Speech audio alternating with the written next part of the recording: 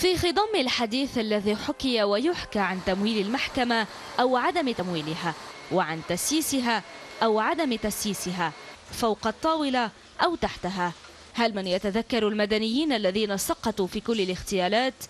المحكمة الدولية الخاصة بلبنان فعلت وأعطت دورا للضحايا المدنيين عبر تمثيلهم بمكتب الدفاع وبذلك تكون هذه المحكمة هي الوحيدة التي خطت هذه الخطوة. في وقت تجاهلت المحاكم الدولية السابقة إنشاء مكتب للضحايا المدنيين.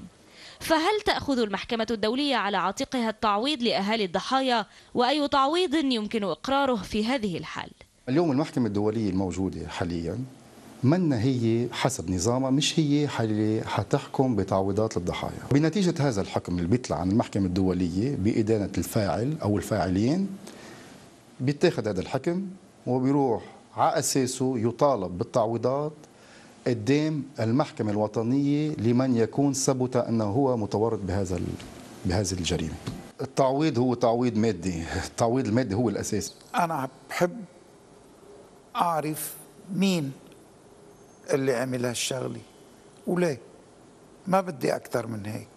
يعني نوعا ما هالحرقة إنه راح بلا ما نعرف مين وبلا ما نعرف ليه الفاعلين هاي حرقة كمان. إذا عرفتوا مين هل جزء من آه، حقكم يعود لكم؟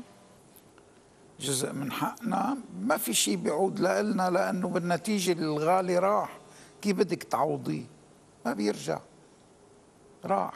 الغالي راح ولكن هل تشكل المحكمة الدولية خشبة خلاص لأهالي الضحايا؟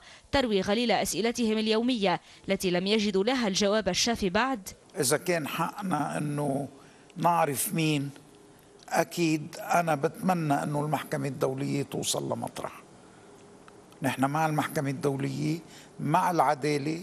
إذا كانت العدالة عن يد المحكمة الدولية بدون شك نحن مع العدالة. نحن بدون شك مع تمويل المحكمة الدولية. نحن كنا مستائين جدا أنه المحكمة الدولية عدالة الإنسان على الأرض تشل. ما أصول أن تشل؟ الأمر ليس سهلا فبعد صدور الحكم عن القضاء الدولي مسار طويل ينتظر ذوي الضحايا. ما بعرف قديش حتاخذ الدو... المحكمة الدولية أساسا تتوصل للنتيجة. بعد منها في عنا بدنا نشوف آه، كيف يطالبوا تعويضاتهم.